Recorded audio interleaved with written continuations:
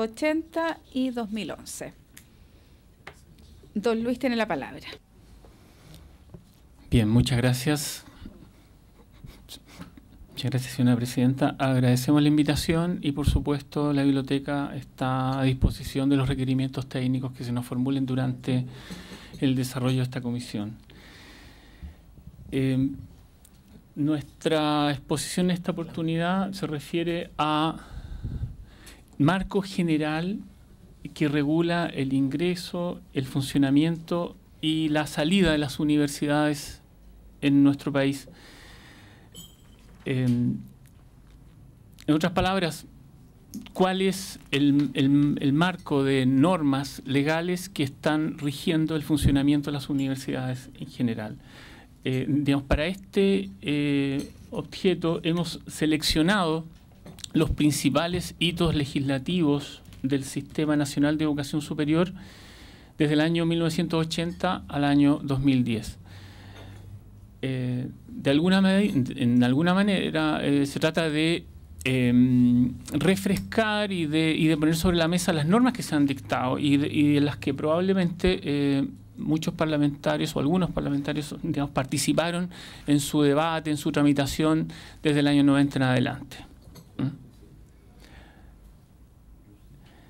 En primer lugar, em, hemos identificado los siguientes ejes temáticos, institucionalidad, financiamiento institucional y financiamiento institucional, eh, eh, perdón, estudiantil, como ordenadores de los distintos eh, cuerpos legales que iban surgiendo en nuestro país desde 1980. Ese año, 1980, hay dos hitos fundamentales que en gran medida explican el desarrollo de la educación superior en Chile eh, y, su devenir luego en los años 90 y 2000.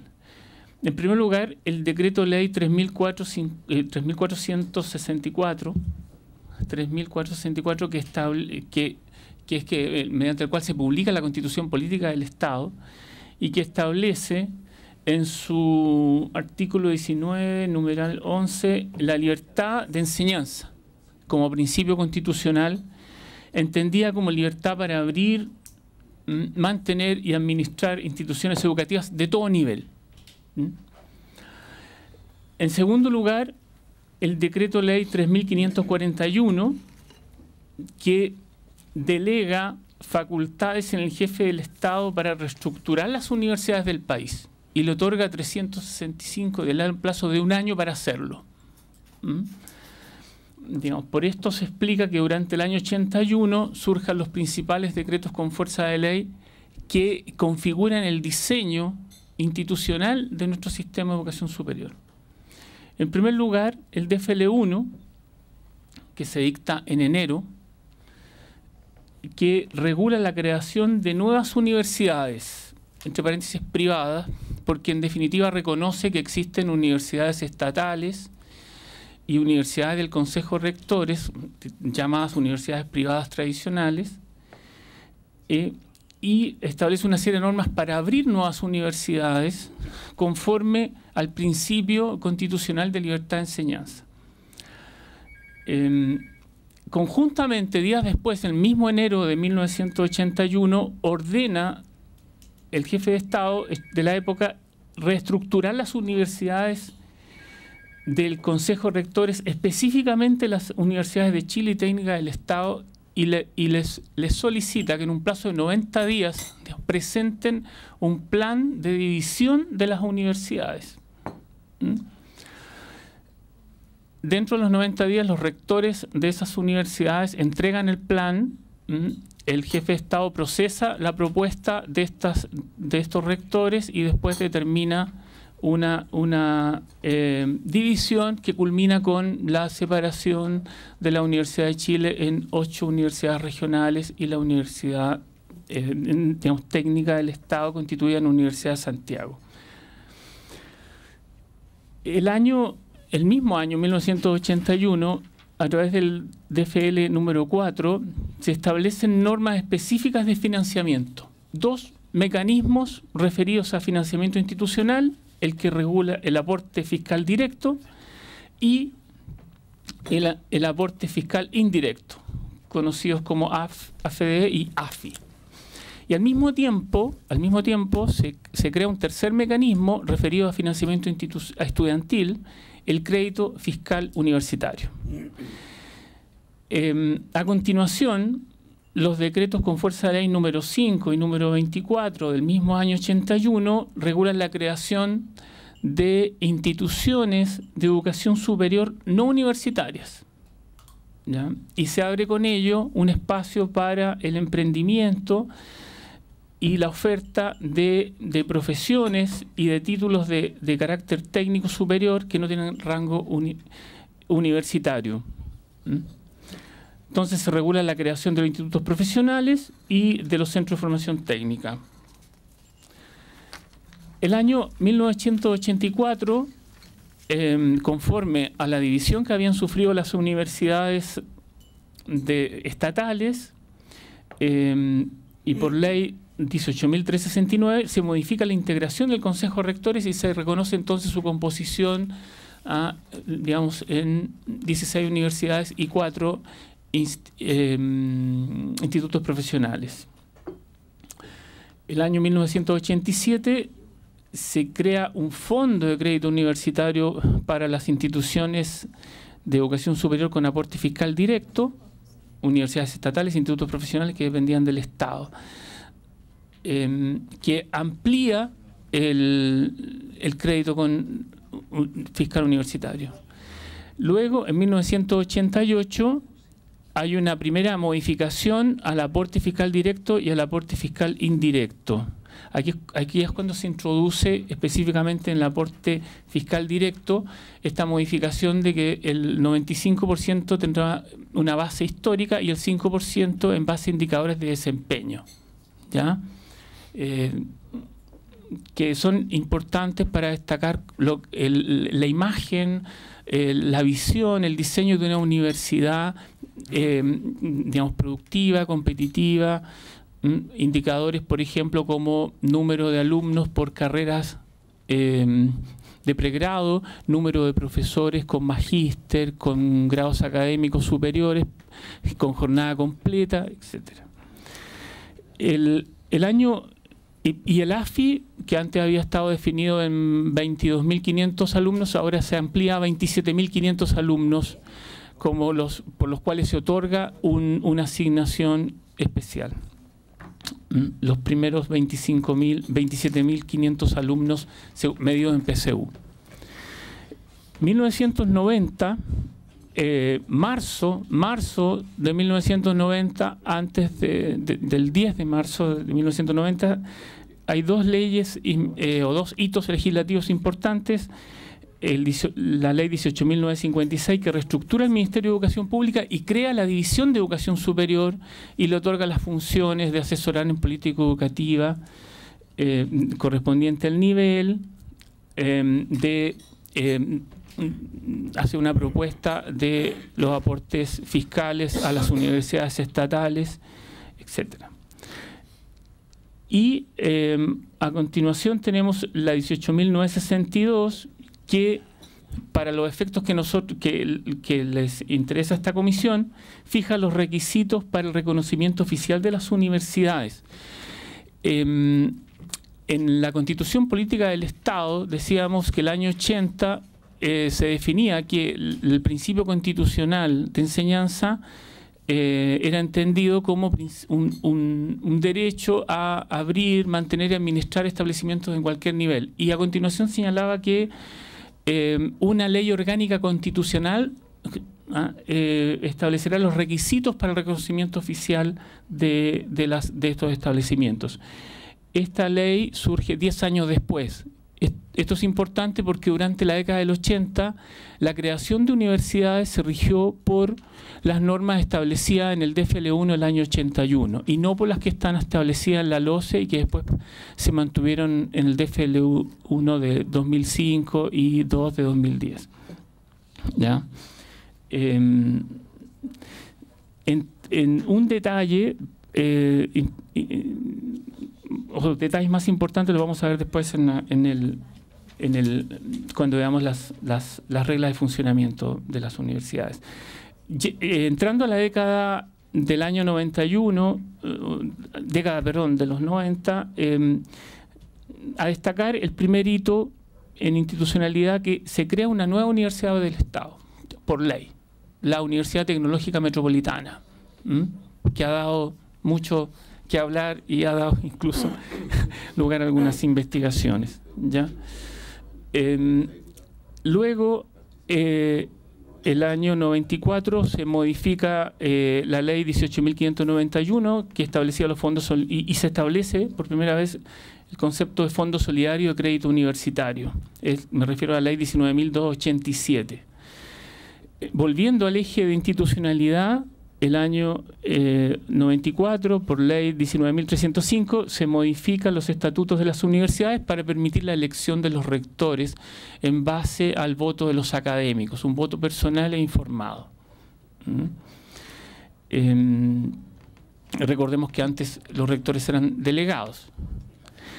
El año 2002 y, 2005 podemos identificar dos hitos eh, fundamentales referidos a, los mecanismos de, crédito solidario de educación superior, mecanismos de financiamiento estudiantil. La 19.848 que reprograma deudas, deudas provenientes del crédito solidario de educación superior y el año 2005 la ley 20.027 que crea el crédito con aval del Estado y planes de ahorro para financiar estudios. Ley que en definitiva se hizo y se ha hecho más conocida por el crédito con aval del Estado. Luego, el, eh, por primera vez en el ámbito legislativo, no administrativo, legislativo, aparece en, eh, un, aparecen un par de cuerpos legales que tienen que ver con acreditación de calidad. ¿ya?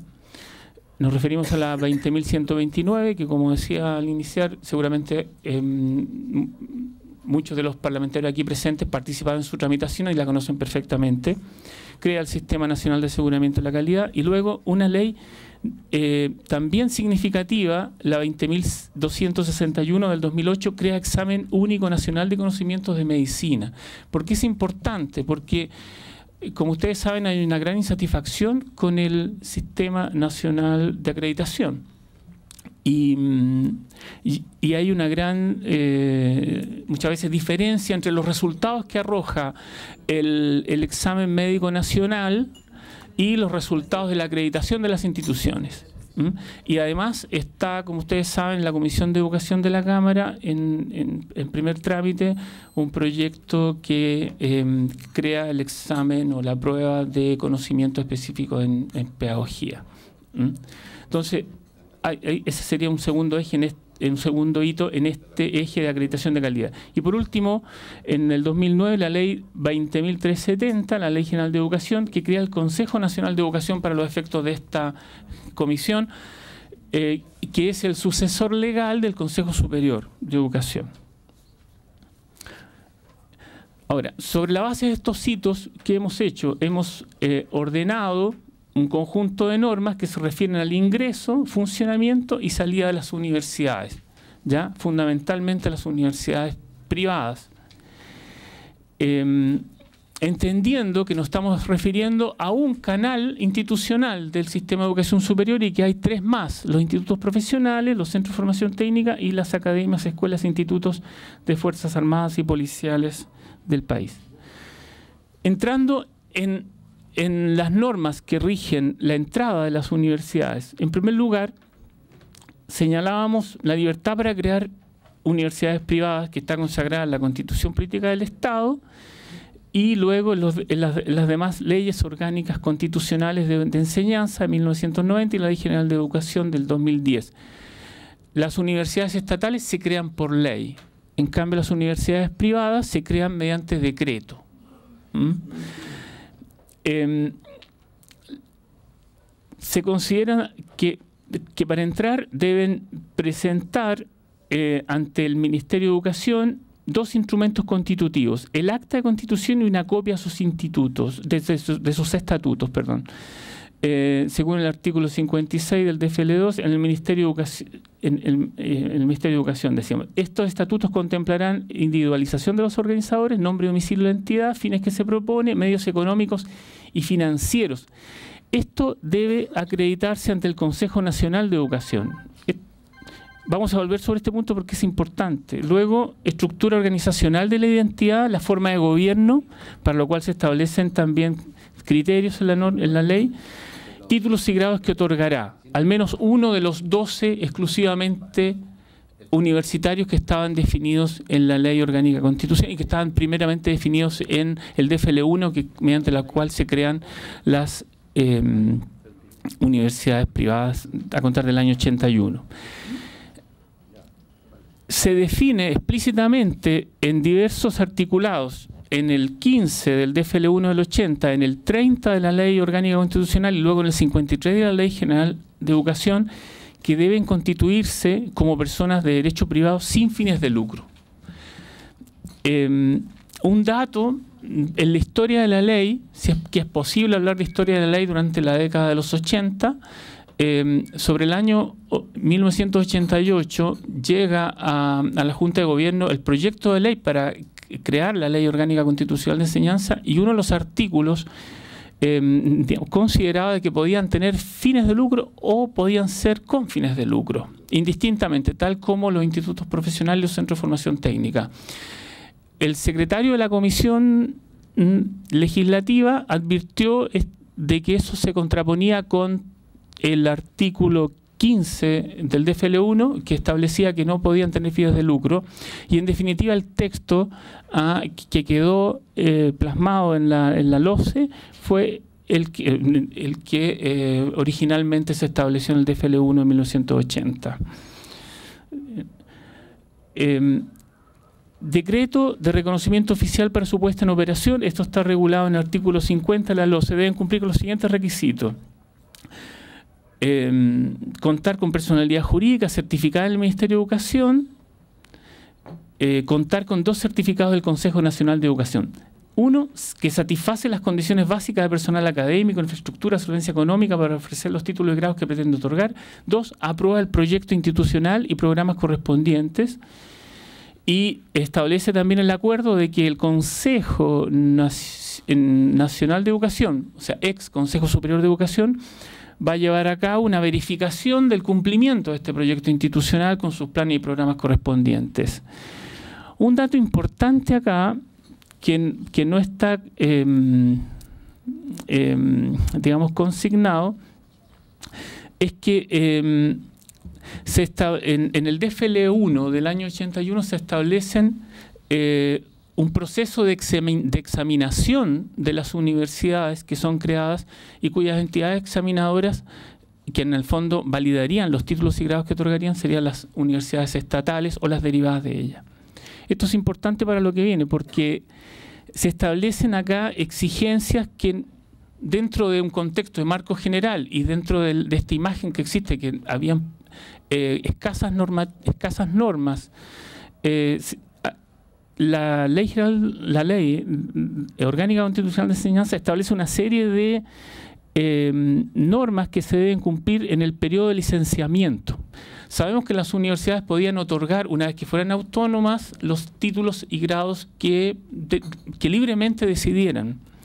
Sin embargo, para tener la autonomía, se establece en la ley orgánica constitucional que debían estar sujetas a un periodo de supervisión por parte del Consejo Superior de Educación este periodo, este periodo podía ser de, un mínimo de seis años y si, no se, y si no se cumplía el proyecto institucional, la universidad podía solicitar su ampliación y el Consejo Superior podía ampliarlo hasta cinco años.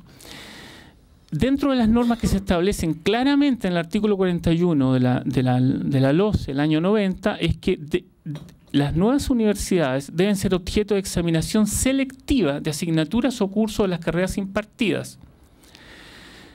Y a propósito de lo, de lo que se viene diciendo respecto de tasas de retención, que son muy bajas en el primer año y acumuladas, eh, pueden llegar a, no superar el 60%, se, se señala que esta examinación va a ser em, favorable cuando más del 50% de los alumnos examinados aprueban las correspondientes asignaturas.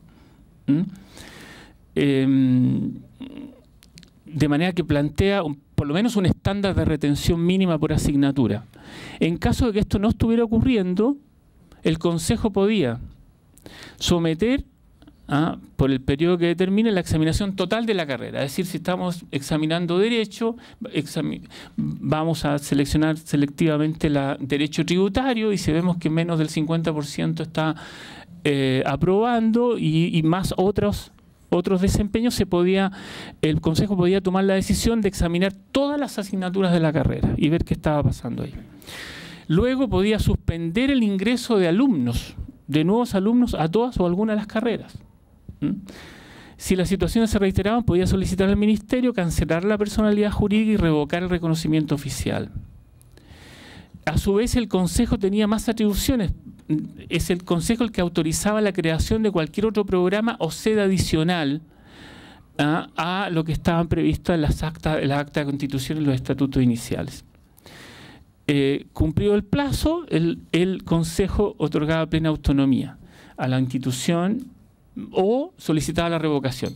Esto es importante porque eh, en la historia de, estos cuerpos legales se revela que hubo una fuerte intención de establecer exigencias, control. Sin embargo, en el mismo cuerpo legal, cito el artículo tercero de la LOCE, dice, las entidades de educación superior que se creen dentro del plazo de dos años a contar de la fecha de la publicación de esta ley, es decir, 10 de marzo de 1990, podrán optar por el sistema de examinación establecido en el decreto con fuerza de ley número 1 de 1980 del Ministerio de Educación Pública, como se llamaba los años hasta el año 1990, en las mismas condiciones señaladas. En, los artículos precedentes, especialmente el, el 41, o por el sistema de acreditación previsto en en este cuerpo legal, disculpen, en, las mismas condiciones señaladas en, el DFL1 o, en, las, o de acuerdo a las normas establecidas en la LOCE. Eh, transcurrido este plazo, solo regirá el sistema de acreditación a que se refiere este, este párrafo. ¿Qué ocurrió para... Eh, ¿Qué ocurrió? Eh, existen 35 universidades privadas desde el año 80 en adelante el, periodo en el que se crearon el mayor número de universidades privadas fue justamente estos dos años. Entre 1990 y 1992 se crean 20 de las 35 universidades que existen. 20.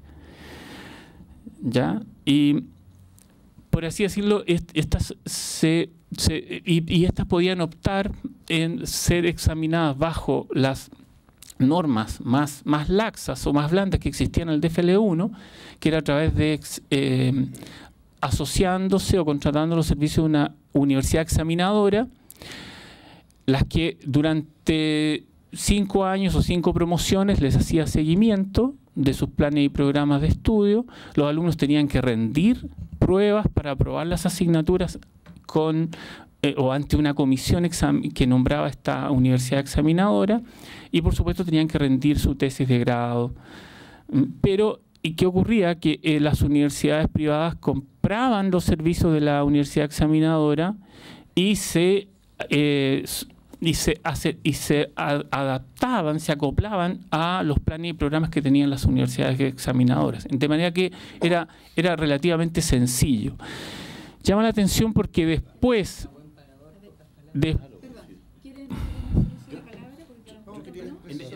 en, este tema, porque tenemos bastante tiempo, parece que no viene el, eh, don Víctor Pérez. Diputado. Presidenta, eh, preguntarle a, don Luis por su intermedio, eh, dentro de las atribuciones que tenía el Consejo, o tiene el Consejo, el Consejo debe autorizar la creación de cualquier programa o sea adicional. ¿Hay estándares? ¿Se analizó si hay estándares? Nosotros hablamos mucho de calidad de la educación o exigencia de la calidad de la educación. Pero quiero saber si hay estándares porque esto está eh, de acuerdo a un decreto. Por lo tanto, no pasa por el Parlamento la generación de esas universidades, solamente por dictación de decreto. Entonces, por lo tanto, yo quisiera saber si se analizó dentro de la creación de...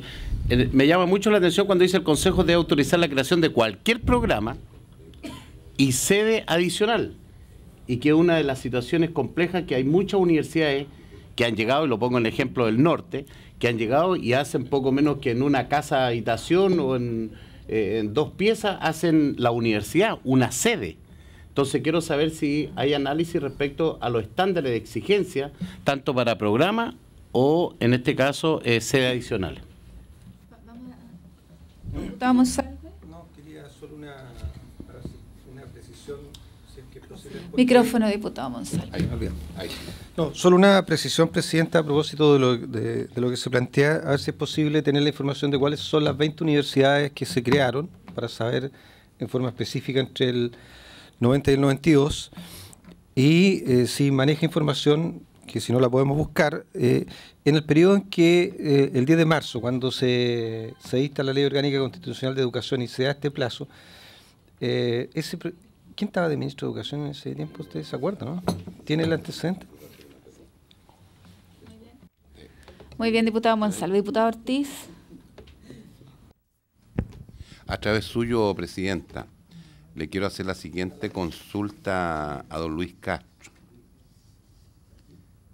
Todos sabemos lo del 10 de marzo de 1990, que parece que en ese tiempo no se dieron cuenta que al día siguiente asumía un presidente de la República, una Cámara de Diputados con 120 y senadores con 38 más los institucionales. Y ese es el gran drama que tenemos en educación. Pero ¿por qué lo planteo así? Yo creo que a través suyo, Presidenta, el trabajo que está exponiendo es bastante minucioso, debiera hacernos llegar el listado de las 35 universidades y desde el instante que se fundaron, porque la forma para crear una universidad era muy fácil, era levantar un acta, ir a una notaría, dejarlo ahí y plantear de que tenían los medios económicos para solventar los gastos. Y punto. Después se fue perfeccionando con las leyes que fuimos sacando. Entonces, eh, las 35 universidades y las fechas. Pero fuera de eso, actualizar a través suyo, Presidenta, eh, la afirmación que acaba de hacer el señor Luis Castro, caso al día de hoy son 35 universidades privadas o a lo mejor hay algunas que están en el proceso de creación, es decir, el máximo para que tengamos el detalle todo posible. Dicho, muy bien, diputado Ortiz, y si pudiéramos, si pudiéramos eh, profundizar en la información de saber si esas 35, esas 20 universidades entre el 90 y el 92, quién fue la, las universidades examinadoras y cuáles de esas universidades pasaron o no pasaron la, la prueba. Diputada Girardi. En relación a lo que decíamos cuando iniciamos la sesión respecto también de tener información de los institutos profesionales asociados a estas universidades eh, y los centros de formación técnica, eh, y cuáles murieron, porque dentro de esas 35 hay algunas que fenecieron en el camino, Y, otras que son nuevas. Entonces, eh, a lo mejor hoy día suman 35, pero si uno lo contabilizara las que, que murieron en el intento, también podría sumar una cifra mayor que la que hoy día se está señalando. Eso. Diputado Venegas. Gracias, Presidenta. Eh, bueno, en primer lugar, eh, felicitar al señor eh, Castro porque me parece un trabajo muy bien hecho, que nos va a ayudar muchísimo para hacer seguimiento, ¿no es cierto?, a todos los hitos legislativos y, que fueron dando forma a este sistema que hoy día estamos analizando. Una pregunta ya me la respondió, pues cuando se produce todas estas órdenes del gobierno en orden a, por ejemplo, dividir la Universidad de Chile, ¿no es cierto?, y la Universidad Técnica, era en tiempos en que había rectores delegados, ¿cierto? La respondió usted, lo había notado. Entre el 80 y el 90 se crearon universidades porque eso significa que se habrían creado sin regulación, sin la regulación que la propia ley mandataba, que era, ¿no es cierto?, la dictación de una ley orgánica constitucional que estableciera los requisitos, según decía el propio DFL1, ¿no? Entonces, claro, no es raro que entonces cuando el año 90 se crea la LOCE y la LOCE expresamente en su articulado crea un sistema de acreditación que establece estándares, requisitos, pero al mismo tiempo da un tiempo de gracia de dos años, se haya optado en esos dos años por usar el sistema más laxo y casi inexistente de regulación que era, ¿no es cierto?, el contemplado en el DFL1 del año 80, precisamente por la inexistencia de una ley. Pasaron una década entera sin dictarse la ley constitucional que el propio DFL1 mandataba. ¿Estoy lo cierto? Y me gustaría saber exactamente cuánto, porque no está aquí, cuántas universidades se crearon entre los 80 y cuáles, entre los 80 y los 90, y por cierto, este dato interesante de cuántas se crearon en este como periodo de gracia de dos años que fue el 90 al 92. 20 mm. lo dijo, claro, pero ¿cuáles? Ahí lo va a decir. Muy bien, diputado Venegas, ¿algo más? Sí, eh, eh, eso por ahora.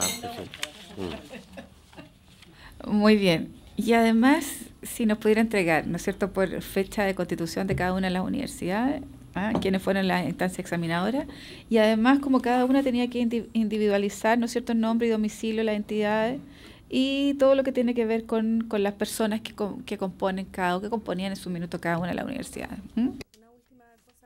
Diputada Girardi. Sí, eh, para los que somos más nuevos en materia legislativa, acá plantea eh, que en el, en el 88 se crea, no, ¿cuándo es? En el 80 se regula el aporte fiscal directo y aporte fiscal indirecto. A partir del 80 sería interesante. Sí, el 81.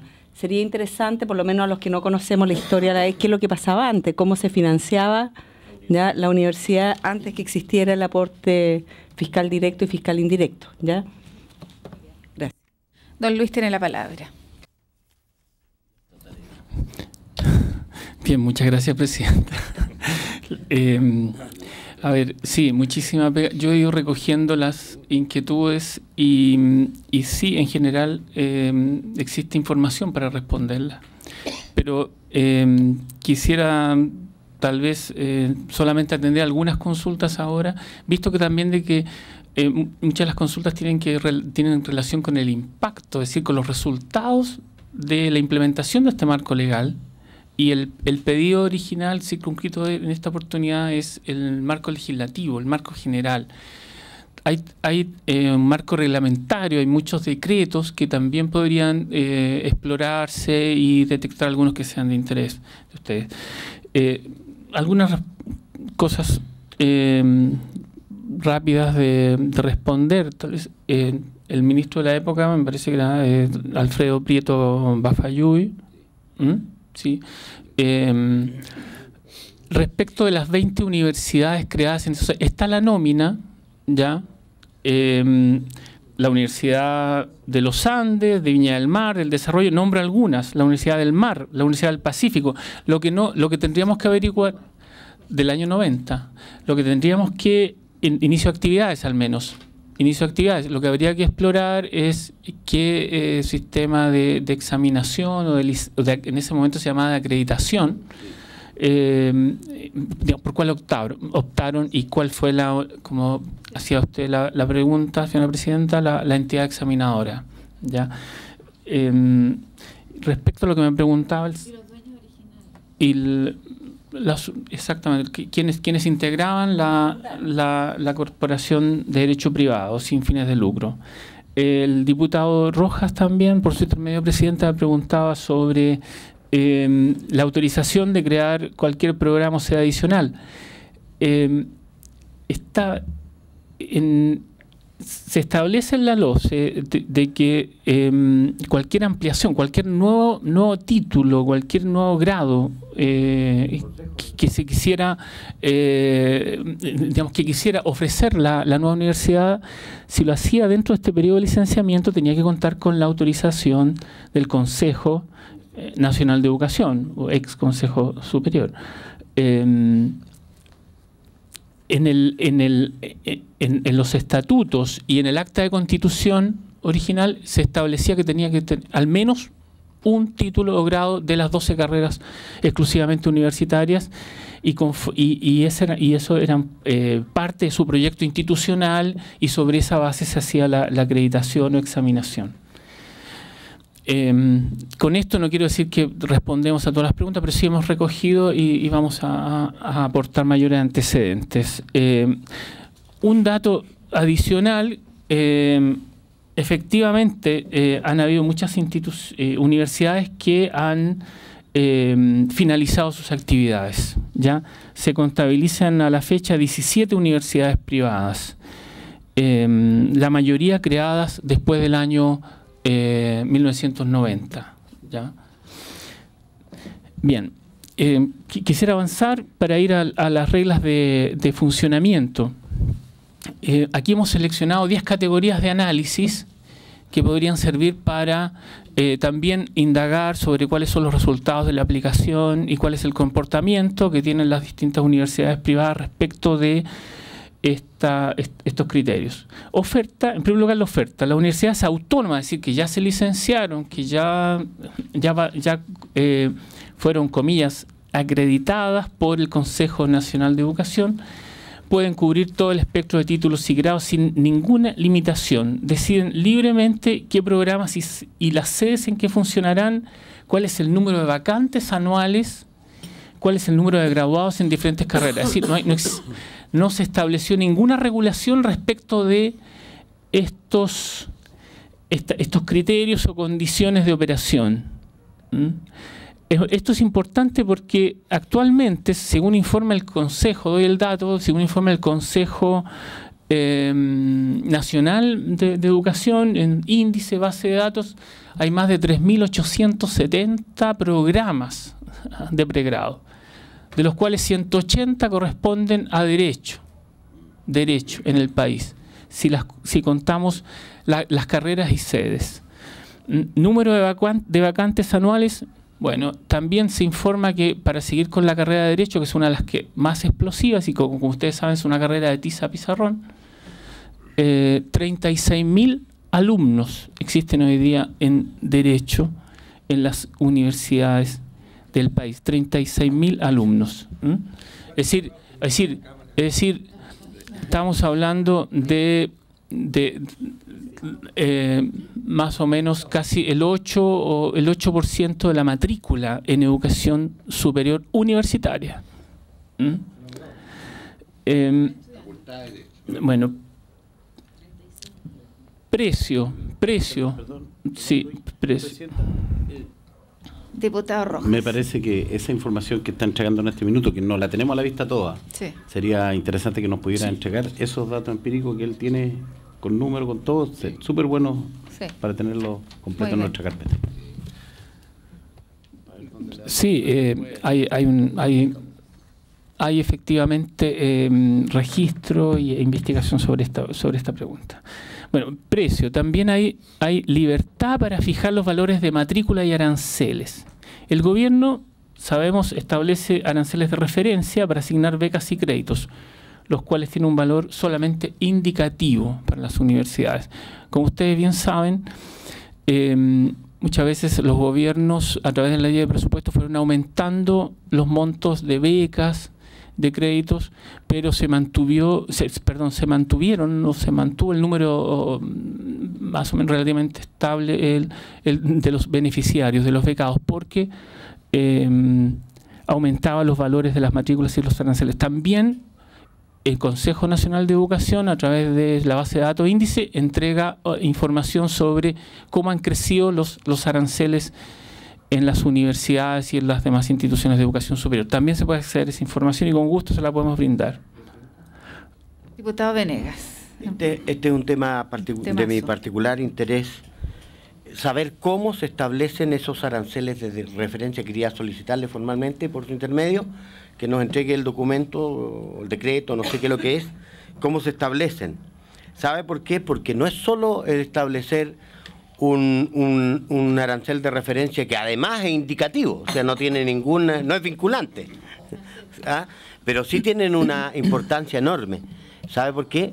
Porque los créditos y las becas están en relación con el arancel de referencia. Y entonces por eso es que el drama es que, aun cuando un niño tiene derecho a una beca que se le otorga, esta no representa el 100% del valor del arancel y a veces representa un porcentaje lo que obliga a un copago de parte, y yo conozco experiencias de que ni siquiera familias con niños muy capaces pueden pagar esa parte que no alcanza a cubrir la beca o el crédito. Es, es un tema interesante, ¿cómo están? Sí, solo, solo manifestar que, que dentro de los oficios que ratificamos hoy día, precisamente el Ministerio de Educación tiene que ver con cómo se estructura, pero yo creo que es bueno lo que dice el diputado Venegas, que la biblioteca nos puede hacer una referencia también y a lo mejor comparar, ¿ah? ver con otras instancias en otros países a lo mejor que hacen también este tipo de, de estructura y cómo la aplican. Diputado Rojas, diputado Ortiz. Presidenta, para un mejor proceder y de información, a lo mejor la biblioteca la tiene, pero ahí señala libertad para fijar valores de matrícula de aranceles. Entonces yo no sé si eso es estandarizado en todas las universidades o cada universidad lo dice fija, libre. Entonces, por, lo- eso lo- por eso va a haber información que es difícil que podamos recabar. po. Habría que pedírsela a la universidad cuáles son los... O lo tienen ustedes, eso es lo que pregunto, nada más. Solo consultar si la persona estadista es asesor de la biblioteca también. hacer comentarios No. si es asesor del No. Partido Socialista. No, en la casa... Ya. Es de los Lo hemos invitado a que pueda sentarse, pero ha dicho que él prefiere estar ahí en las tribunas. ¿ah? En, la- en las tribunas. Él, él está mirando desde las tribunas. Ya. Muy bien. Eh, diputado Ortiz. A, ver, a través suyo, a través suyo, Presidenta, en los oficios que los ratificamos aquí, hay un oficio que es muy importante, Presidenta, como usted tiene que firmarlo, que tiene que ver al Servicio de Impuestos Internos. Es una información general de todas las franquicias y exenciones que gozan las instituciones de educación superior, la letra A. La letra B es un régimen aplicable, ¿cuál régimen es aplicable a las universidades en relación al pago del IVA, impuesto primera categoría, impuesto territorial y límite aplicable a la remuneración de directivos ejecutivos? Yo le propongo una nueva letra C, que es bien importante. Nosotros tenemos una ley de donaciones. Y la ley de donaciones nosotros le hemos hecho el estudio en la Comisión de Hacienda de la Cámara y nos, nos encontramos con sorpresas muy especiales, que hay universidades privadas que tienen unas donaciones, por eso que hicimos una modificación de la ley de donaciones. Entonces me gustaría que en la letra C se solicitara cuáles son el monto de los últimos años en relación a la ley de donaciones, que es para todas las universidades, pero la parte del León se la llevan tres o cuatro universidades privadas que están absolutamente dirigidos. ¿Por qué? Porque las donaciones significa una franquicia tributaria, porque hay una compensación del Estado. O sea, no crean de que toda, todas las donaciones es porque se le ocurrió a esa empresa y nosotros hicimos unas modificaciones también de personas naturales. Entonces, ¿por qué no colocan una letra C sobre las donaciones? Para saber la historia de todo lo que ha pasado en estos últimos años. Mon- montos y destinatarios. montos, Muy bien. destinatarios. Eh, Eso es todo. A ver, muy bien, tenemos, vamos a pedir entonces al Servicio de Impuesto Interno, pero además ratificar que en el segundo punto que nosotros ve- tenemos eh, eh, para estudiar precisamente tiene que ver con las vías, una de las vías de investigación son las donaciones. ¿ah? Nos vamos a adelantar con el oficio, pero son las donaciones precisamente una de las cosas que vamos a hacer con el director del Servicio de Impuesto Interno es que nos explique las donaciones en relación a... Sí, sí, eh, pero la vamos a solicitar también si hay acuerdo, entonces pedimos también como tercer oficio. Eh, diputado Robles tiene la palabra. Presidente, solo, solamente para pedirle que la biblioteca nos haga un cuadro comparativo con el arancel de referencia de, distintas carreras y lo que están cobrando la universidad hoy día. Eh, me gustaría saber tan- tanto de las universidades públicas como las privadas, porque eh, evidentemente uno piensa que el arancel de referencia es un arancel aplicado por el Estado que debiera cubrir todos los eh, requerimientos de un alumno en la universidad. Y lo que tengo entendido es que el- el- las diferencias son tan dramáticas que a veces incluso son más del 200, 300% del arancel. O sea, me gustaría por lo menos tener un cuadro comparativo entre universidades públicas y privadas, eh, cuáles son los aranceles para poder tener una apreciación. Sí. No, no, por, por carreras, por distintas carreras. Y algunas...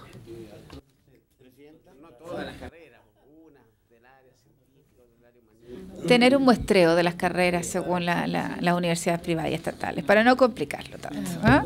Sí. necesitamos las 3.870 carreras que están, están impartiendo. Diputada Girardi, después pues, diputada Venegas. Gracias. Yo tengo, yo no sé si la biblioteca lo debe tener, pero yo tengo aquí un estudio de Patricio Meller eh, sobre los aranceles en las carreras de, en, las universidades chilenas. Eh, y efectivamente, aparte de decir que las universidades chilenas son las más caras del planeta, eh, plantea también que las universidades chilenas son las que tienen mayor valor agregado. Sería interesante ver un poco cómo se traduce eso, en, qué se traduce, porque dicen, de, hecho, los estudiantes también los han planteado, las universidades chilenas son las que tienen mayor valor agregado, pues son las que entregan peor calidad. ¿Qué valor agregado? Eh, eh, por, eso, por eso le planteo que, que, qué consideración es este del estudio de Patricio Meller, porque yo tengo el estudio pero no escuché la exposición de Patricio Meller, que sería interesante ver cómo se traduce, en qué se traduce. Claro. Y eh, los aranceles también él plantea que han crecido casi en un 60% real. Sería interesante saber cómo ha crecido el valor referencial los aranceles de referencia, si, si han crecido también en este 60% del 97 al 2009. Y claramente aquí sería interesante saber, porque las carreras, aquí dice que hay carreras con un aumento real superior al 120%, o sea, dentro de, 60, de ese 60% promedio, hay carreras que han tenido un aumento superior al 120%. ¿no? Que son, por ejemplo, las de odontología, o sea, la de, odontología tiene el ciento, casi el 160% de aumento. no, menciona las universidades. Sería interesante saber qué pasa con las carreras, las que han tenido mayor aumento, como odontología, medicina, que son brutales, que son las que están entre el 120 y casi el 160%, y saber en qué universidades se da precisamente estos mayores aumentos de aranceles para saber si efectivamente un problema contagioso, una enfermedad que se contagia, o hay universidades que se mantienen en cuarentena, digamos, y que son las que más aumentan los aranceles. Sería interesante saber si hay diferencia o es sumamente contagioso el problema. Muy bien, sí. Un gran pediatra y pintor.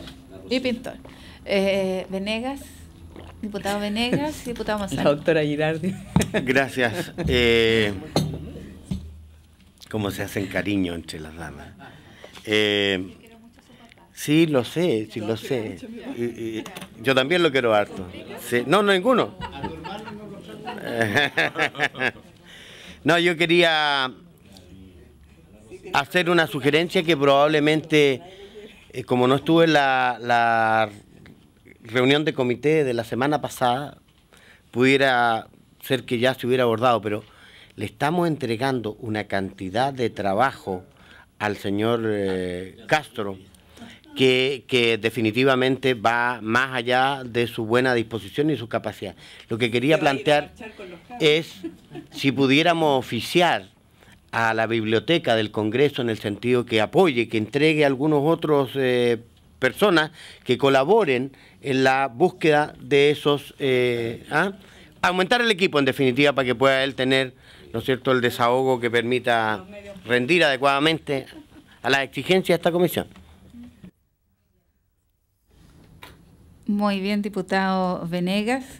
Precisamente en relación a lo que usted ha solicitado, hemos hecho un oficio ah, ah, que ya ratificamos ah, para que incluso si es necesario, sobre todo, o sea, el análisis que ustedes pueden hacer, pero al mismo tiempo contadores o, lo que tiene que ver con, el análisis de toda la información de los balances, también se va, si es necesario, incluso contratar personal adicional para, para esto. Eh, diputado Monsalve tiene la palabra.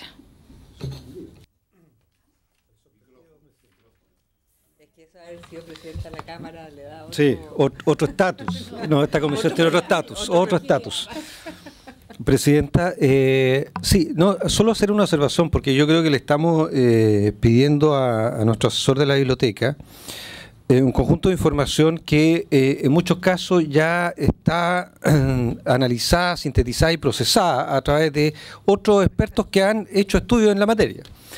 Respecto a lo que yo creo que estamos abordando ahora y las consultas que estamos haciendo, que, que el sistema de eh, financiamiento de las universidades, cómo se estructuran sus ingresos, cuántos son por arancel y matrícula, cuánto es por aporte fiscal, cuánto es por donación, cuánto es por, por eh, venta de asesoría y servicio que hacen las universidades.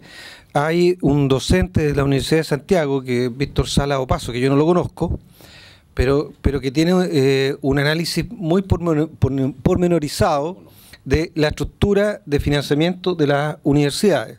Eh, y por tanto yo creo que esa pega, que ya está un poco hecha y publicada, eh, yo plantearía que lo que tiene que ver con financiamiento pudiéramos hacer y acordar ya desde ya dos invitaciones. Una al señor Víctor Salado Paso, que es docente de la Universidad de Chile, y eh, a Patricio a Patricio Meller, que pudieran orientarnos mucho respecto al sistema de financiamiento. Eso. Muchas gracias, presidente.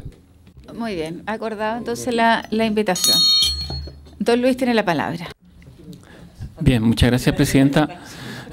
Efectivamente, eh, hay dos buenas noticias, que hay, hay mucha información y hay muchos estudios, informes, y yo creo que eh, nosotros podemos eh, racionalizar todos los pedidos haciendo una buena selección de los informes que existen sobre el tema. Y, y obviamente hay muchos especialistas que se, han dedicado a temas específicos de funcionamiento de la educación superior y que pues, obviamente pueden hacer aportes muy, muy interesantes. Diputada Girardi. Sería interesante que la biblioteca nos propusiera una cantidad de informes, dónde ubicarlos, para que nosotros también los vayamos estudiando y leyendo y haciendo preguntas y ver si de ahí podemos invitar a gente que nos interese. Muy bien. Eh, dejemos entonces a don Luis que pueda terminar su, su exposición.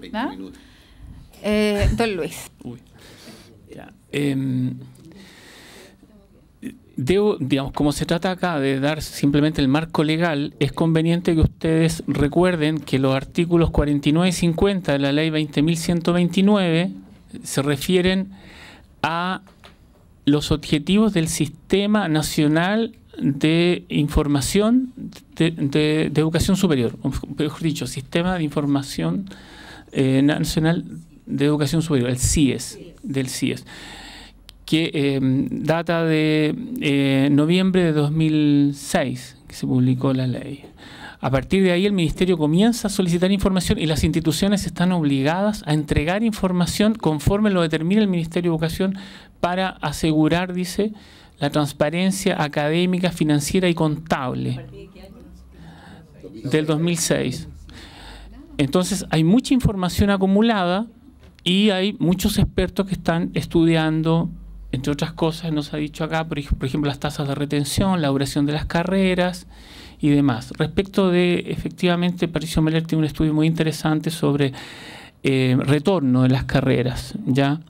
Pasa que ese, es un tema sobre que en realidad hay que profundizar más en el retorno específico por carrera, porque ustedes recuerdan la CASEM, que cada, cada tres años entrega sus informes y hay un cuadrito donde aparece que después de los, de los 18 años de escolaridad o de educación suben exponencialmente los ingresos y entonces se, se ha generado una especie de eh, sueño o, de, o, de, imagen de que eh, por el hecho de tener seis años, cinco o seis años más de educación eh, después de egresar de la educación media, se va a acceder a ingresos superiores a un millón o más de pesos. Eso hoy día está em, de alguna manera muy cuestionado cuando se han hecho estudios respecto de las tasas de retorno que tienen carreras específicas y más todavía la empleabilidad y los, y los ingresos estimados en el primer año, en el cuarto año y, y, siguientes, según la institución en la que han estudiado. Entonces, hay mucho que desmitificar y de, de detallar en este sentido. Em, siguiendo y, para ir, ir, a, ir, a, ir al tema, a la tercera categoría de análisis, admisión de alumnos eh, a programas conducente a título. ¿Ya? porque recuerde que han habido programas conducentes a diplomas o a cursos, como eh, algunas universidades ofrecieron para eh, obtener eh, becas Valech. Eh, la licencia de educación media es obligatoria o estudios equivalentes. Eso está establecido en la ley, ley Orgánica Constitucional de Enseñanza y luego en la Ley General de Educación. Eh, el CRUSH la Universidad del Consejo Rector considera promedio ponderado de notas y fundamentalmente puntaje en prueba de selección universitaria, algunas obligatorias, otras selectivas. Ya las obligatorias son las de lenguaje y matemática.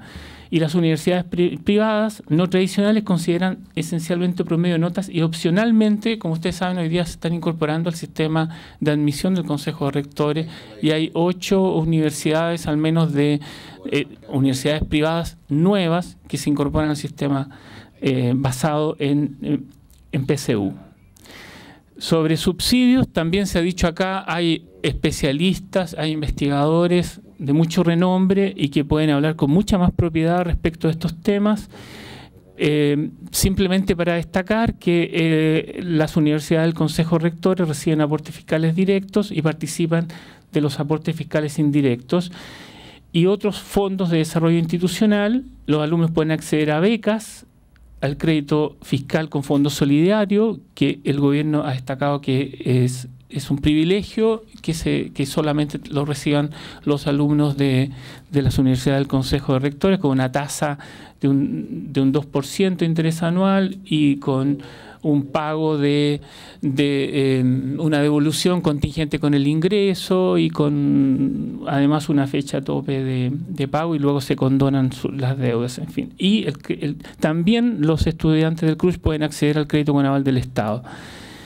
Eh, Ahora bien, las universidades privadas no tradicionales no reciben aportes fiscales directos, como se sabe, participan de aportes fiscales indirectos y de algunos programas financiados por el Estado. ¿Ya? Por ejemplo, el programa de fortalecimiento de, de la institucional, que hoy día va a aportar grandes recursos para fortalecer la, la, formación docente. ¿ya? Por ejemplo, es un programa abierto a todas las instituciones. Em, continuemos con... En este punto, es que no quiero... Perdona. ¿Terminó en, esa... ¿Sí?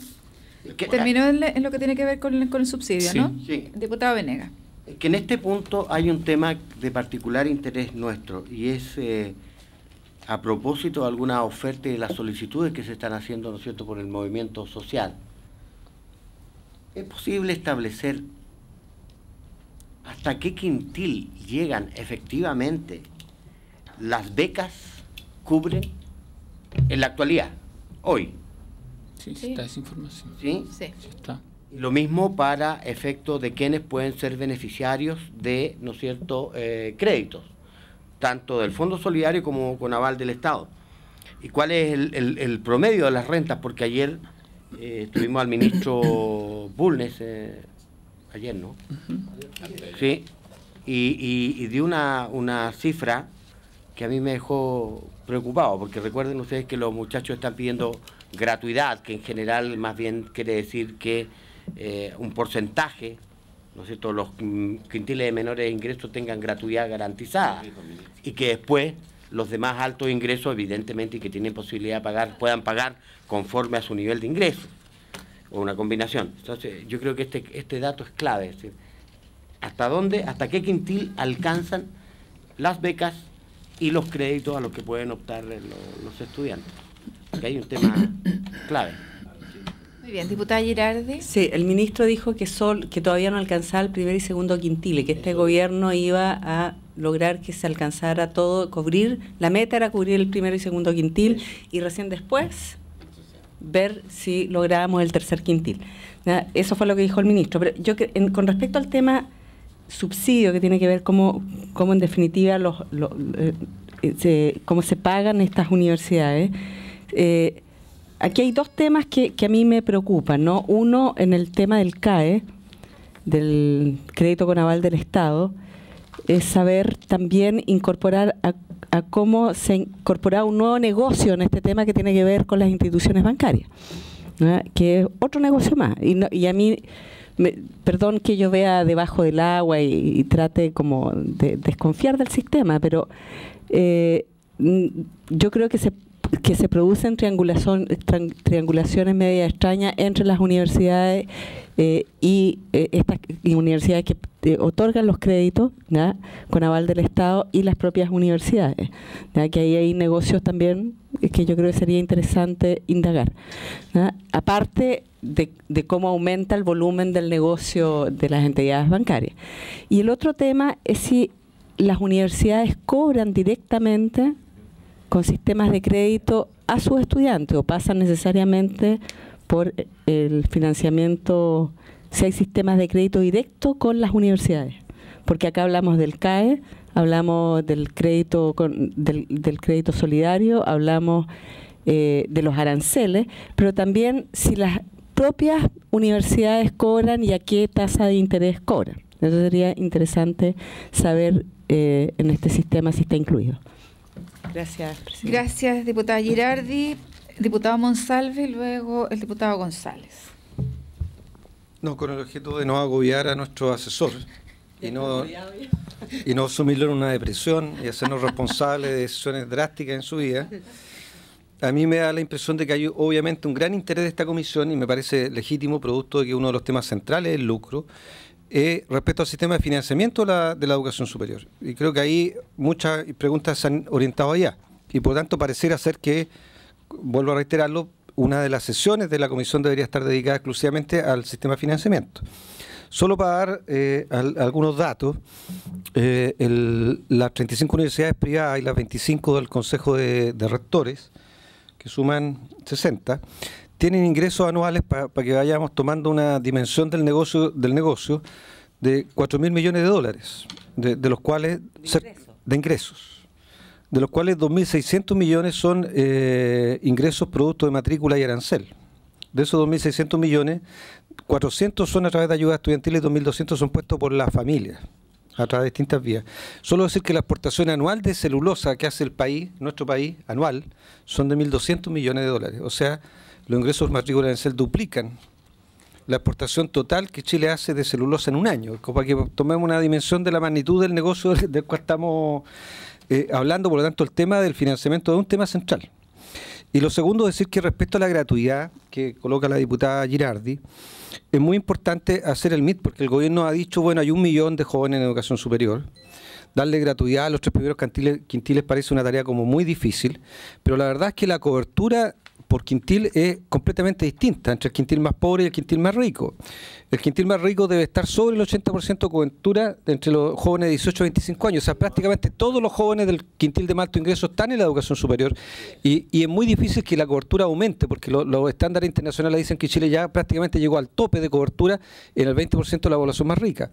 Pero la cobertura de los jóvenes de 18 a 25 años en los quintiles más pobres, particularmente en los más pobres, está en el 12%. Por tanto, cuando uno habla de entregarle gratuidad al- a los del 60% más pobres, no está entregándole gratuidad al 60% de los que están en la educación eh, superior, sino a, la- a las coberturas, justamente a los quintiles donde hay menor cobertura. Y por lo tanto, eh, yo creo que ahí también eh, uno tiende a engañarse y, el gobierno lo coloca una tarea tremenda, cuando no es una tarea tan tremenda, porque las coberturas por quintiles de ingresos son totalmente distintas. Entonces yo solo eh, insistir en que el tema de financiamiento requiere, desde mi perspectiva, una sesión específica y particular para abordarlo, Presidenta. Muchas gracias. Muy bien, diputado Monsalve. Diputado González, después diputada Girardi, para poder que termine su exposición, don Luis. Eh, gracias, Presidenta. Diputado González. Eh, una consulta sobre el texto que nos plantea el investigador de la biblioteca sobre los subsidios. Allí dice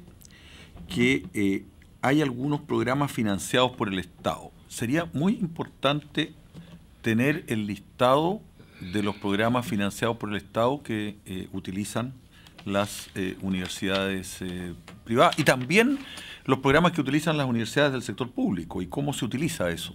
Pero especialmente las de las eh, universidades privadas y los todas las características de esos programas. En segundo lugar, yo quería referirme a las becas que entregan autónomamente las eh, universidades privadas. Eh, el monto de esas becas es bastante elevado, ¿no? Y las tasas de interés que cobran son también tasas de interés muy altas y muy abusivas. Y se ofrecen eh, con métodos muchas veces que no son los más santos, digamos, y muy engañosos. Entonces no son para- becas. No, perdón, beca, la- la- los créditos, los créditos, los créditos, perdón, los créditos. Los créditos. Eh, esos créditos son créditos eh, eh, de tasas muy altas, eh, muy engañosos muchas veces y con métodos en los cuales los padres ni los alumnos tienen la información. Entonces sería muy importante conocer los sistemas de becas propios que tienen las universidades, cuál es el, el- el- el volumen, eh, los eh, porcentajes de alumnos que están cubiertos, etcétera.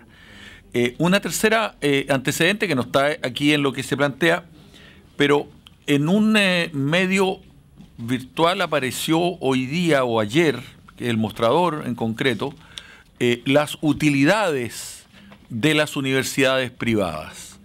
Y se señalaba allí que las universidades privadas tenían niveles de utilidad superiores a los que tienen algunas de las universidades del Consejo de Rectores, ¿no? Utilidades que son, en el caso de eh, dos o tres universidades privadas, muy superiores al de la Universidad de Chile y al de la Universidad Católica. Yo quisiera que eh, la biblioteca también pudiera entregarnos antecedentes sobre eso que se llama utilidades, si son efectivamente utilidades, y en la medida que se trate de utilidades estaría, digamos, absolutamente configurada la eh, ilicitud de esos ingresos que tienen las universidades.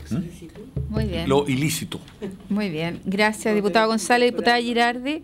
Para posteriormente nos quedan cuatro láminas, ¿no es cierto?, para, para que termine don Luis. Solo, no, solo una aclaración. Cuando yo, cuando yo hablo o hablamos de gratuidad, no hay que hablar de gratuidad, porque en el fondo son becas que no cubren el arancel. Y un dato importante que dio ayer eh, 2020, ¿no? en la exposición que hubo en el Senado, plantea que en los, los primer, el primer y segundo quintil la deserción de los jóvenes es brutal, es del cerca del 70%. ¿no? Entonces, aunque, aunque estos jóvenes estén con becas, pierde, o sea, la pérdida de recursos del Estado es algo que también yo creo que sería interesante como conclusión, ¿no? en términos de lo que invirtió el Estado y lo que se perdió. ¿no? Porque todo, todas esas deserciones son de jóvenes que a lo mejor tuvieron beca y por este diferencial no pudieron seguir asumiendo la carrera. Entonces también yo creo que va a ser un foco interesante que miremos. Gracias, presidente. Gracias, diputada Girardi. Entonces, las cuatro láminas, a ver si podemos terminar, don Luis. ¿no? Oye, pero no Bien. las cuatro. Eh, Bien, muy bien. Eh, quiero eh, destacar, porque es un documento que también podría ser objeto de, de análisis, eh, este informe del Banco Mundial respecto del programa de crédito con aval del Estado, Chile, CAE. Este informe que desde marzo de este año y eh, fue solicitado por la DIPRES y por el Ministerio de Educación y se entregan datos muy precisos respecto de la implementación de esta ley que para otros efectos serviría también para evaluar la eficacia de esta ley. Eh, me refiero a la 20.027. Eh, ahí se indica, por ejemplo, que el número de beneficiarios del CAE eh, efectivamente es, mayor en los quintiles 1 y 2. Se habla de un 63% de, benefi- de beneficiarios CAE correspondientes al primero y segundo quintil. Y si, es- y si con las cifras actuales tenemos 300.000 estudiantes con CAE, eh, es fácil pensar que alrededor de 200.000 de est- estudiantes de, quintiles 1 y 2 que están en el sistema de educación superior pertenecen a los quintiles 1 y 2, están endeudados y son esos los que tienen también una alta tasa de deserción. Eh, también en el estudio se mencionan aquellas instituciones que han capturado mayores cantidad de créditos con aval del Estado. Se nombra Santo Tomás, en primer lugar, con un 17%, San- eh, Universidad IP y CFT. Se nombra luego el grupo Lauret, que corresponde a la Universidad ICFT Andrés Bello, Universidad de las Américas, Universidad Viña del Mar, Instituto Profesional AYEP con un 14%, Duoc a continuación con un 11%, IP y CFT, Universidad Autónoma de Chile un 4,4%, Universidad de San Sebastián 4,4%. Y están los, todos los datos respecto a cómo se distribuyen por carreras eh, y también las recomendaciones que hace el equipo del Banco Mundial respecto de supervisión y monitoreo de estas universidades, porque se llama crédito con aval del Estado, pero también es crédito con aval de las instituciones de educación superior mientras estudian. Y se producen deserciones, son las instituciones las que tienen que responder. En fin, entonces hay mucha información, nosotros vamos a aportar en la sistematización de esta información para eh, no, duplicar trabajo. Eh, rápidamente, respecto de la organización y gobierno, hay que destacar que el artículo 45 de la LOS y luego el 56 de la DFL2, que sistematiza la Ley General de Educación, eh, reiteran lo que se había señalado en el DFL1 de 1981, que se excluye la participación de los estudiantes y funcionarios administrativos en los órganos de dirección y gestión y en la elección de las autoridades unipersonales y colegiadas. Esta sido una demanda que es muy explícita del movimiento estudiantil. ¿ya? Eh, las universidades estatales dictan sus propios estatutos, pero son sancionados por ley y las universidades privadas deciden su propio régimen de organización y gestión. Régimen de académicos también es un dato importante respecto a lo que es el funcionamiento desde el punto de vista comparado, que es una buena universidad respecto de contratos de, personal académico, jornada completa. Exactamente. Y ya el gobierno el año 88 había señalado que iba a considerar como dentro de los criterios de, de aportes fiscales directos el número de profesores de jornada completa y niveles de calificación académica. Luego, acreditación de calidad. Aquí ustedes, aquí tenemos en la mesa personas que parlamentarios que participaron en la tramitación de, esta ley.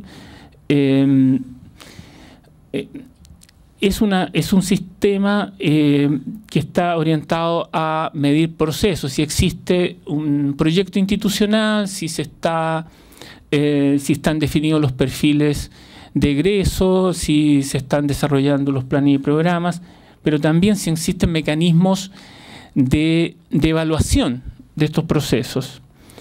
Eh, ustedes saben de que hay datos sobre esto también, hay mucha información eh, y, que, nosotros con gusto podemos poner a disposición de ustedes eh, y que todavía no se ha hecho pública eh, respecto de cuántas son las universidades, de, una forma sistemática, decimos, cuántas son las universidades y con qué matrícula que están con, años de acreditación 6 y 7, que serían la, una acreditación respetable.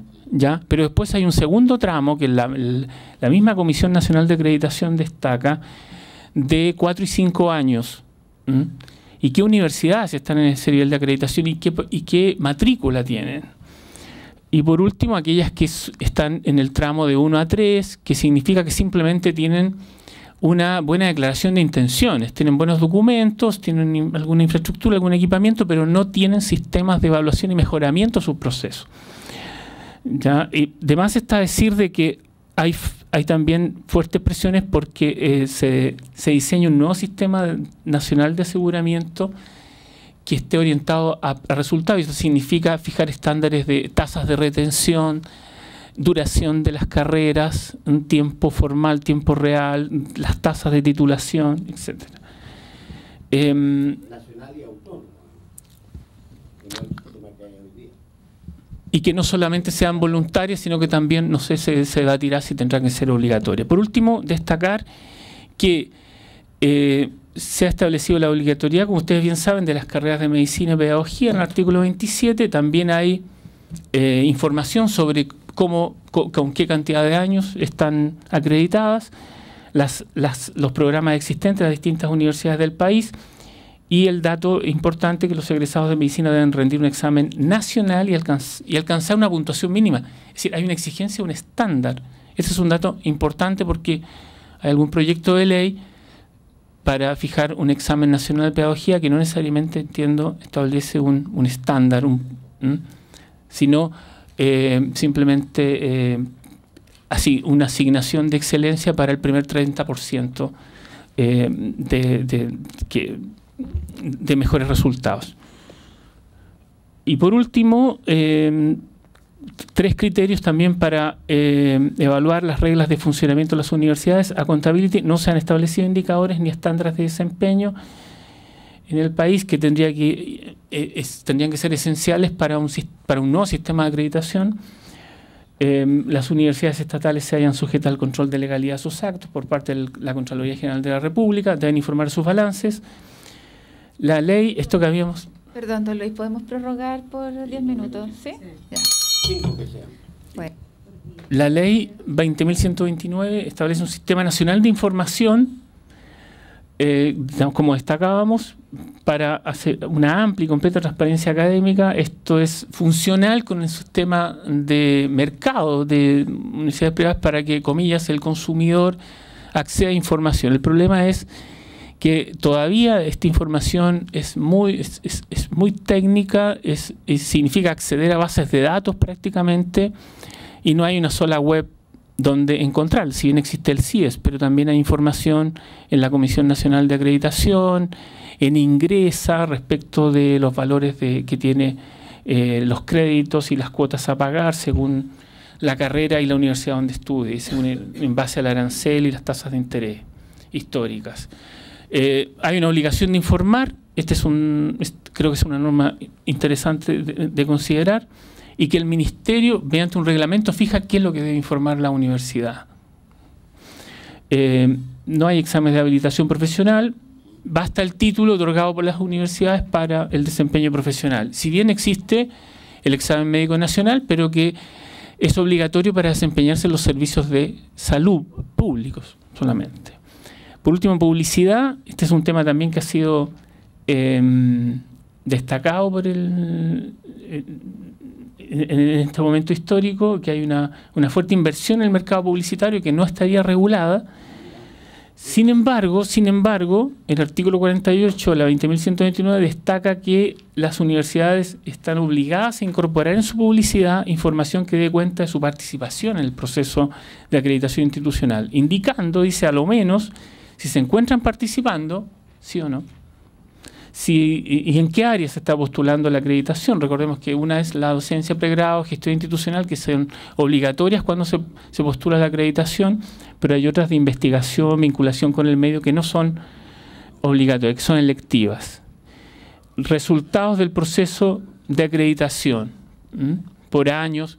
Se informa en general si está acreditado o no acreditado, pero no se destaca la cantidad de años y esa es una información muy importante porque hace una diferencia. Por último, asociatividad. Eh, las universidades estatales y privadas tradicionales están organizadas en torno al Consejo de Rectores y las privadas no tradicionales pueden establecer convenios de todo tipo con instituciones extranjeras, alianzas, fusionarse y transarse en el mercado. por último, causales de, eh, para cancelar la personalidad jurídica y revocar, simplemente en el artículo 64 de la actual Ley General de Educación, si no cumple con sus objetivos estatutarios, si realizar actividades contrarias a la moral, al orden público, em, sin incurrir en infracciones graves de sus estatutos y se dejará obtener títulos de aquellos que requieren el grado licenciado. Nos referimos a las 12 más otras que se han ido ampliando, las dos originales más otras que se han ido ampliando estas últimas décadas. Procedimiento es el, es, el Consejo Nacional de Educación, previo, previo acuerdo subintegrante, el que solicita Em, la cancelación de la personalidad jurídica y, luego el Ministerio de Educación, mediante decreto supremo fundado, revoca el eh, reconocimiento oficial. Por supuesto, escuchando a las partes. Por último, este no es, un dato también que no es menor y que está establecido en la ley, que em, se, puede, se puede em, cancelar la, la, la, autorización legal de dictar determinadas carreras en determinadas sedes de una universidad, disponiendo que solo se revoque eh, el reconocimiento respecto de ellas mismas. Es decir, también no sabemos, pero debe haber mucha información respecto si esto se está haciendo o no. Y, em, porque, porque una de las quejas del, ex em, secretario ejecutivo de la Comisión Nacional de Acreditación eh, y uno de los problemas y desafíos que tuvo que enfrentar es la disparidad entre em, lo que la universidad podía acreditar en su casa matriz y lo que podía demostrar después en su sede. y uno, de los problemas y el problema que tenía que dar autorizaciones de acreditación como usted. Ahora, ¿cuál es la institucionalidad actual que, digamos que, coordinan eh, el sistema de educación superior en relación especialmente a las universidades? Son estas cuatro instituciones. Eh, recuerden ustedes que se ha, propuesto la creación de una superintendencia de educación, de una subsecretaría de educación que vendría a, incrementar esta, esta nómina de instituciones y configuraría entonces una nueva institucionalidad para la educación superior. El Consejo Rectores, que viene del año 1954, eh, Ministerio de Educación, División de Educación, que vela, dice, dice la ley que vela por el cumplimiento de las normas legales y reglamentarias y, entre otras cosas, de asesorar la política educativa, proponer aportes estatales, etcétera, administra el Sistema Nacional de Información. El Consejo Nacional de Educación, que administra el sistema de licenciamiento de las nuevas instituciones, y también entrega mucha información a través de, como he, dicho, la base de datos, índices y una serie de estudios y publicaciones, muchísima, muchísimo análisis, información y análisis. Ingresa, que ha cobrado protagonismo con el Crédito Económico del Estado, que también tiene una página web con mucha información, tiene estadísticas donde se detalla exactamente cuál es el número de beneficiarios por año, por institución, el número de beneficiarios y los montos, los recursos eh, que están involucrados, eh, cuántos corresponden a los diferentes quintiles, eh, digamos como hemos señalado, y cómo se distribuyen por carreras, por programas, incluso también de dónde provienen, si son, cuántos son alumnos con crédito de la, de, de, del Estado que provienen de, liceos municipales, cuántos de liceos particulares subvencionados y, demás. Y por último, la Comisión Nacional de Acreditación, que también eh, proporciona mucha información respecto a las acreditaciones de instituciones eh, y de programas de, de pre y posgrado. Mm, por último, también autoriza y supervisa el funcionamiento de las agencias de acreditación de programas, respecto a las cuales también se han planteado problemas de conflictos de interés, porque son eh, las instituciones las que contratan y pagan los servicios de una agencia de acreditación. Es cuanto puedo señalar. Muchas gracias, don Luis. Tiene la palabra la diputada Girardi. Eh, yo tengo, yo quisiera hacer una petición respecto de lo último expuesto de la lámina donde dice universidad Universidad de Reglas de Funcionamiento, en el punto 10, asociatividad, que dice que pueden tener alianzas entre sí, fusionarse y transarse en el mercado. ¿Cómo se relaciona esta norma, que yo me, imagino que debe estar especificada en algún artículo, esto de transarse en el mercado, con el hecho de que estas entidades sean sin fines de lucro? Eh, porque se supone que eh, una entidad sin fin de lucro no debiera transarse en el mercado. ¿Ah? Eh, por lo tanto, ¿cómo se relaciona esta situación con, eh, con el hecho de que estas instituciones son sin fines de lucro? O sea, más bien, a lo mejor es un análisis jurídico que habría que pedirle a la biblioteca que, que, tiene... Sí, Muy bien, y además si nos puede analizar, pobrecito, pero así es la vida. ¿ah? A ver, un poco en relación a lo que plantea la diputada Girardi al comienzo de la, de la, de la sesión, todas las instituciones, o sea, todos los, organismos del Estado en el cual tienen algún poder de fiscalización sobre las universidades, privadas o, públicas.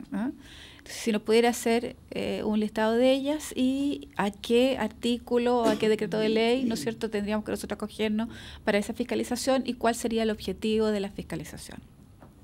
Muy bien, eh, muy bien yo quiero excusar, ¿no es cierto?, a, a don Víctor Pérez eh, Vera, vicepresidente ejecutivo de la Cruz, que lamentablemente no pudo asistir eh, hoy día. Bueno, por haberse cumplido el objeto de la sesión, esta se levanta. Y muchas gracias a Biblioteca, informa muy especial a usted, don Luis.